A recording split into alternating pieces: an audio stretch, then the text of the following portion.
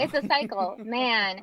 Um, all the clues are pointing to him, right? Just with Renslayer alone, Alioth, um, Renslayer's number 823, which is their appearance in the comics, right? Mhm. Avengers 23. hmm And then when we saw in episode five, the first glimpse, actually, I think you see it at the end of episode four, right? The first glimpse where people thought it was potentially the Avengers Tower, but it was Mhm. actually um, Kang Enterprises Kang, right? Um, Oh, Tower. I, so I, there was I so many clues. That. I didn't know that. I didn't see that.